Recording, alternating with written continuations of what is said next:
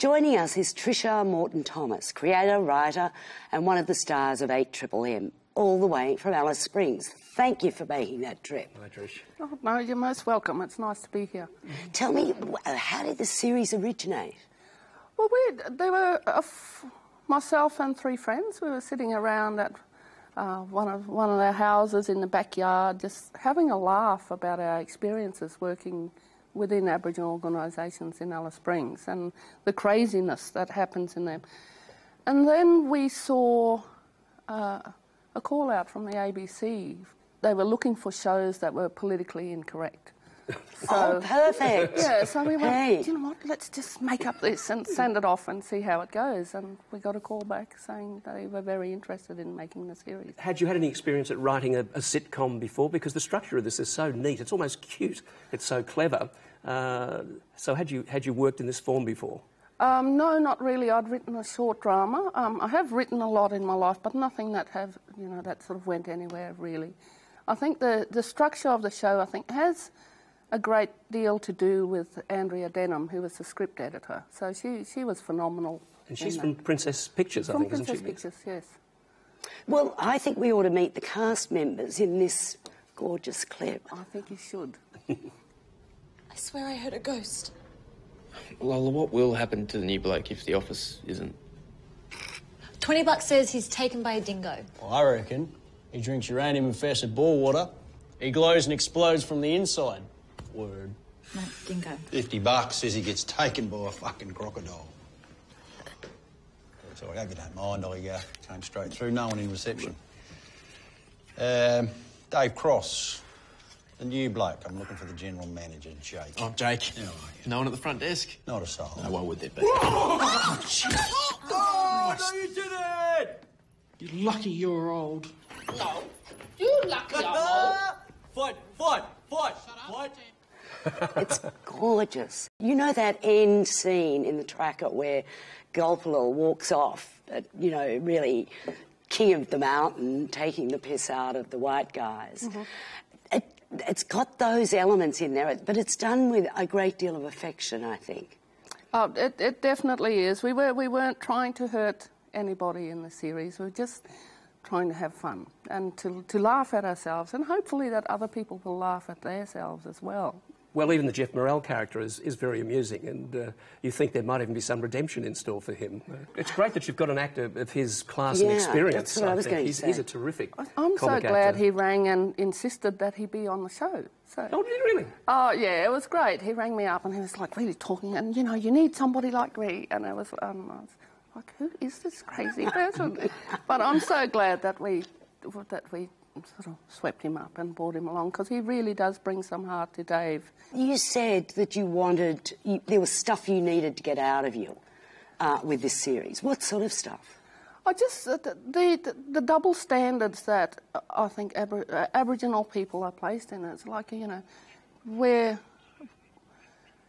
where it's acceptable for other people to go out and get drunk and fall all over the place, like you see on Melbourne Cup. Right, uh, where really you think, well, they need an intervention.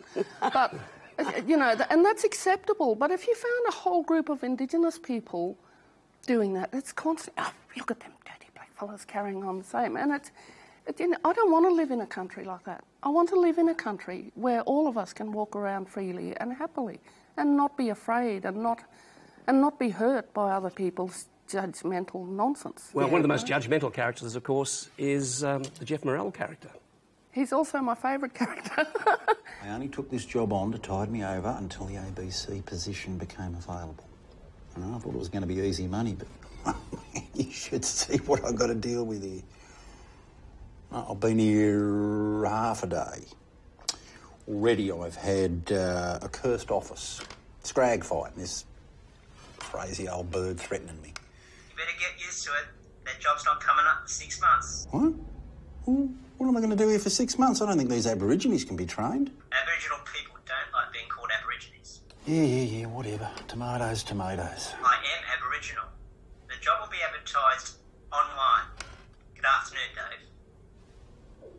Dave. Right, my mistake. I was thinking you was a chink. Six fucking months, shit. Other thing about it is the language in it. Every second word is F. Yes, we, we try to get Geoff to settle down a bit on it, but. Uh, Was Geoff ad libbing a little bit? Oh, there were a few moments. In the show, I mean, real issues are addressed as well. You know, I mean, not just social issues, but, you know, living issues. Like this scene with uh, Shari Sebbens. What's your mum looking at? You got eyes? Gideon's house is falling down. Point your cameras over there, not at her big fat head. Gideon and Petunia have no water, and you build a driveway. Babies are getting sliced up on broken pipes, and you'll probably just blame it on child abuse. You've renovated my house, and I have no drain hole. Which department fixes the fucking drain holes?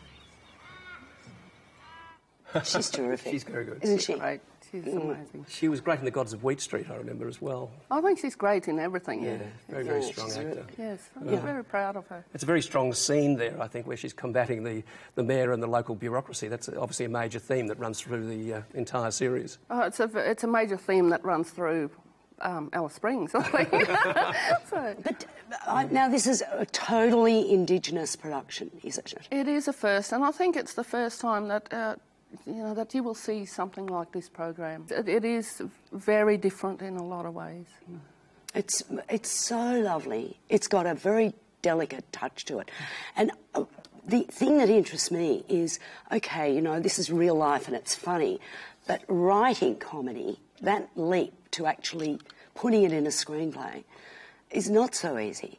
Yes, as I discovered after a while, it, it, it was three years um, developing the scripts, and just and and part of the the hardship in developing the script was that we were working with two very different cultures, so it was almost like we, in real life, we were sitting in 8MMM as we were writing 8MMM, just not understanding each other's cultures and what could be offensive and what isn't offensive. And and I'm sure there's going to be a lot of I'm going to cop a lot of flack for this comedy I know it. Are you? there's going to be people you know that we're going to have the three M's jumping up and down because they will recognise themselves and they're going to come in pointing. And I know I'm going to cop a lot of flack from the Indigenous community.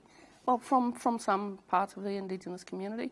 But you know you expect that when you're making film and television because it's you know, what you should, what film and television should be, is an ex- you should be expressing, and you should be making social comments, and you know Yes. it- that's what it should be for. Trish, thank you very much for coming down and joining us, coming all the way from Alice Springs. And let's, let's take a look at a scene to finish with, which shows the, the clash of cultures in such a wonderfully comic way. Yeah. Look out for me.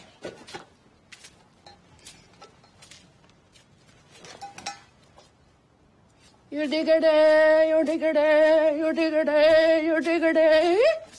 You diggity, you diggity, you diggity. What the fuck was that? Mumbo jumbo. Hey.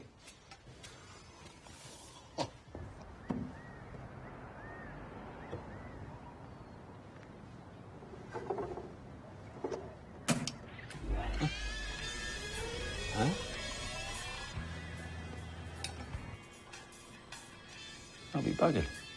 You dig a eh? You dig a eh? You dig a eh? You dickhead, eh? You fucking mumbo jumbo.